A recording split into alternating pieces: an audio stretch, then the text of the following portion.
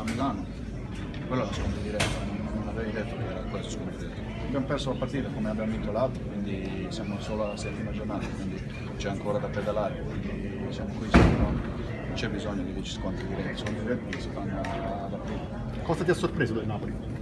No, niente, sapevo come, come- come giocano, sa- sapevo che giocano molto bene, fanno tanto possesso, secondo me quando siamo usciti nel secondo tempo a pressare alti abbiamo È difficile ora per le prime posizioni?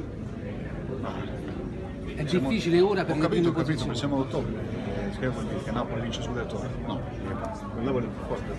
Ultima, grazie. no, secondo me non ha fiducia. Grazie ragazzi, grazie.